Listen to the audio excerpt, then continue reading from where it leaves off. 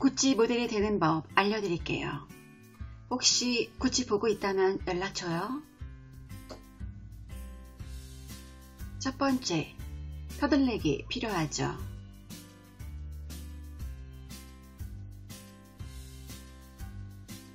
컬러풀이 중요해요. 안 어울리는 셔츠를 입어요.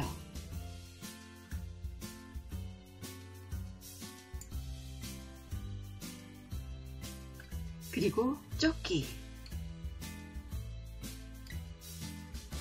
오버핏 자켓을 입는다.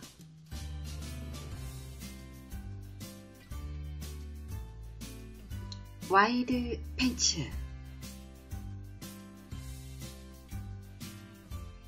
미니스커트 레이어드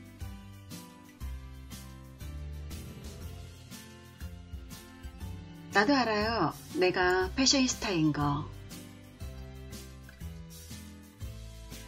구찌에선 스카프가 핵심인 거 아시죠?